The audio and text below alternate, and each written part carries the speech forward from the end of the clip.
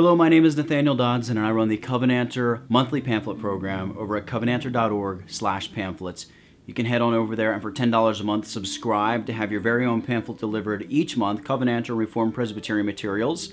Or if it's no longer June of 2014, you can go and you can purchase this month or earlier month pamphlets as well.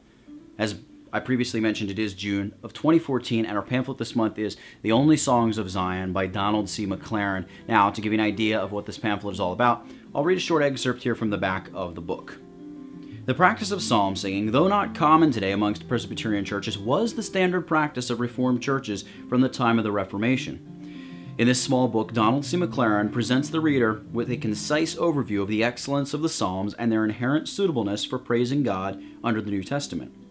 Writing at a time when Reformed churches, especially the Presbyterian churches, were increasingly seeking to accommodate themselves to the sensibilities of frontier revivalism, McLaren attempts to counter the slide into relativism in the worship of God.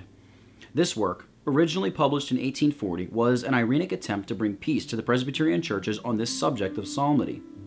McLaren reasoned that if Presbyterians respected the Bible and were mindful of their agreed upon subordinate standards, true and lasting peace would ensue amongst the brethren over this issue, and brother would join voice with brother in proclaiming the praises of God.